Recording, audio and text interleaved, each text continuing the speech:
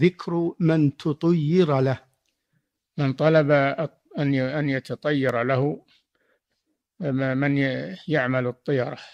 هي التشاؤم بالأشياء. يسأله أن يتطير له أن ينظر له في هذه الأشياء التي يتطير بها ليخبره عما له في المستقبل. هذا كفر بالله عز وجل. وطلب لعلم الغيب الذي لا يعلمه إلا الله سبحانه وتعالى. فالمتطير والمتطير له سواء في هذا الحكم لأن المتطير له رضي بهذا وصدق من فعله فيكون مثل من فعل الطيرة. نعم.